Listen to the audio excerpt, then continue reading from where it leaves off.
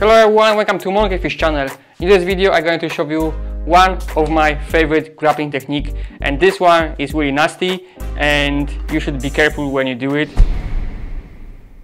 I am not one of those masters who say that my techniques are too deadly for sparring. No, no, you can use this thing in the sparring but just be careful because we don't want to hurt our sparring partner or friend or whatever. So the technique starts here when Gunther have an underhook. This position is dangerous for him when I get over because for me it's really easy to snap his shoulder. How it's called? Standing shoulder I think. That when he have an underhook and I just hold here around the elbow and just press this way.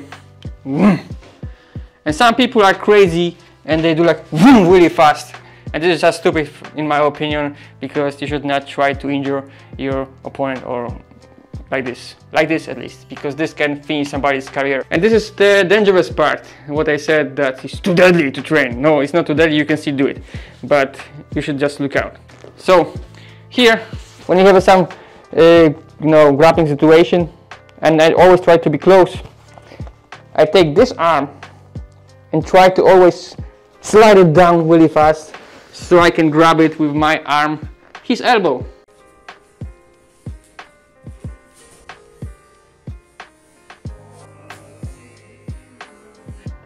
And this, I get this idea when I was training Wing Chun and was one move which we called stupid trap. And this is the stupid trap because with one arm I hold his two arms. And if when I'm close, then he is trapped with his arms and my idea with this technique is that when I'm here then I go for sweep for example osotogari or some big throw or whatever. Or when I wanna be mean just whomp, snap his shoulder or whatever. But don't do it. Don't injure your partners or or your friends. Just to win sparring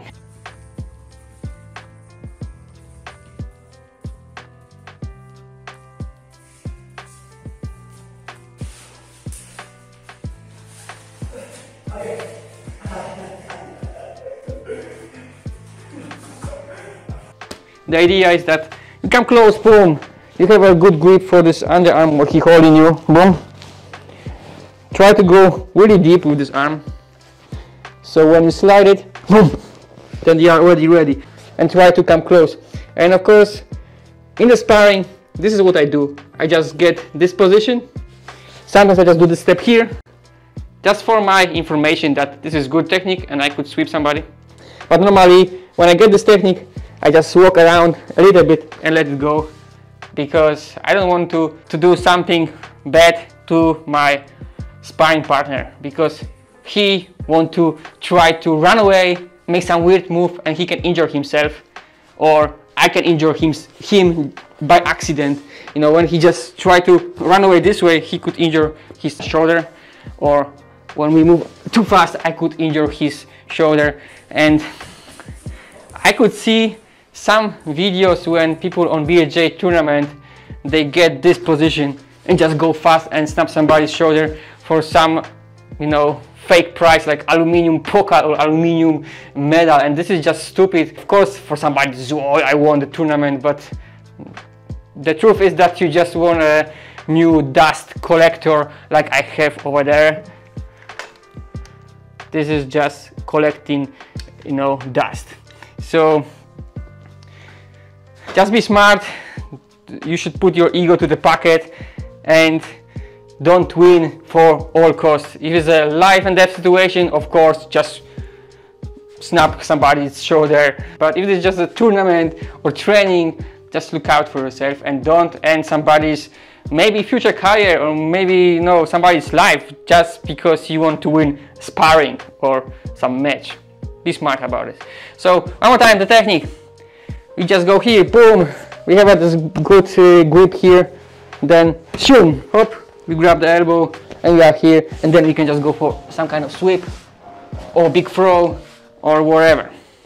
But normally in the fighting, like in the sparring or in the training, I just do hold here and then I'll grab, grab here, walk a little bit and let go because this is just information for me that I did this technique or how I want it.